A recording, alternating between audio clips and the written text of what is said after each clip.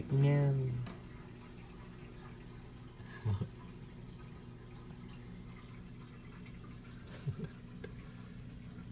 what are you doing, man?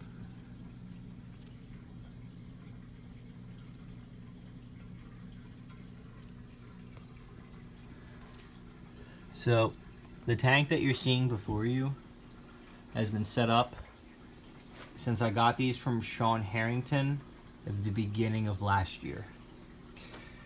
I got cholla wood, which I'll be selling shortly, slate rock, which I will be selling shortly, um, and of course cork bark.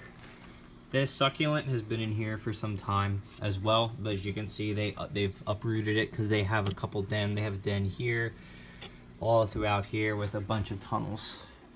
So here's a good example of what the Sahara does.